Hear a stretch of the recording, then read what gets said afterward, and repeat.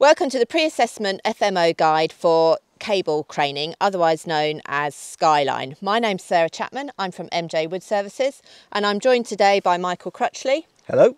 Who's an NPTC assessor and LANTRA trainer and is a forestry contractor with 20 years experience. And Mike will be sharing his knowledge with us today on the skills that you need to demonstrate during your FMO cable crane assessment.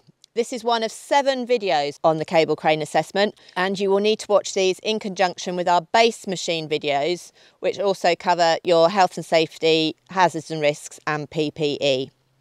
We already assume you have a good level of skill. This is not a training video so we have assume you have a good level of skill for using the skyline or cable crane and we always recommend that you seek formal training and read the qualification guidance. These videos would not be possible without the support of Forestry Focused Future, an innovative training scheme, and Callum Campbell of Forest Services Limited from Huncliffe for the use of his machines, crew and site today.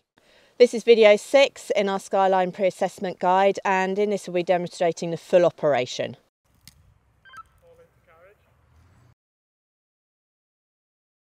So the winchman's received a clear command from the chokerman to send out the carriage we're looking for the correct speed, good control.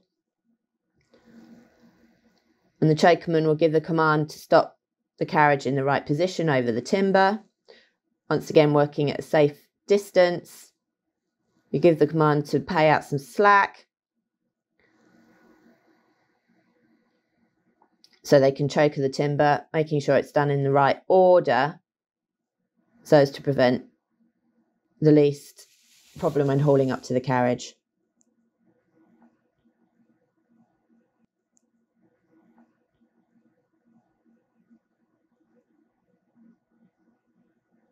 Again, moving to a safe distance, giving a clear command to haul in the timber to the carriage. Chokerman once again, once it's at the carriage, give a command to lock the carriage, release the brake and haul up.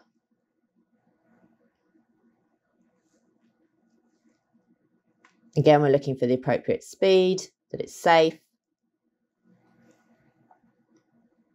And once at the landing site, lower the timber and release the chokers. Once again, if you're manually releasing chokers, it's important to observe health and safety when moving over stacked timber.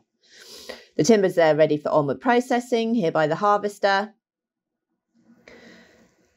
It's important to look after your equipment that you check your chokers and damaged equipment are reported and taken out of service, ready for repair. And as previously demonstrated, release the tension and lower the tower. Here the harvester is processing into chip bar log as required, ready for forwarding.